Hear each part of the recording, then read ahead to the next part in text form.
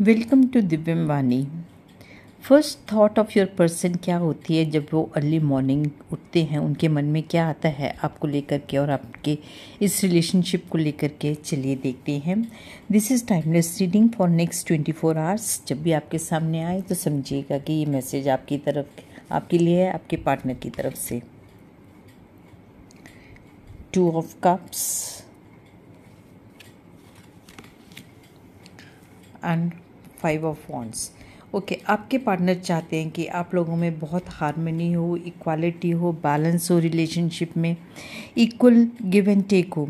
वो ये नहीं चाहते कि आप लोगों में कन्फ्लिक्ट्स हों या मिसअंडरस्टैंडिंग्स हो डिफरेंस ऑफ़ ओपिनियन हो, वो नहीं चाहते। वो चाहते हैं कि आप लोग हमेशा एक दूसरे को अंडरस्टैंड करें सपोर्ट करें स्टैंड करें irrespective of any situation any thing आप लोग एक दूसरे के लिए हमेशा हारमोनियस एनर्जीज में रहें पीसफुलनेस रहे, आप उनकी लव लाइफ में।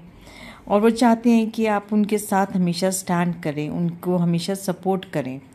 तो आपके, उनके पार्टनर के मन, आपके पार्टनर के मन में यही आ रहा है कि कन्फ्लिक्ट्स नहीं हो इस रिलेशनशिप में और एक हारमोनी और बैलेंस की एनर्जीज हमेशा रहें आप दोनों के बीच में। Thank you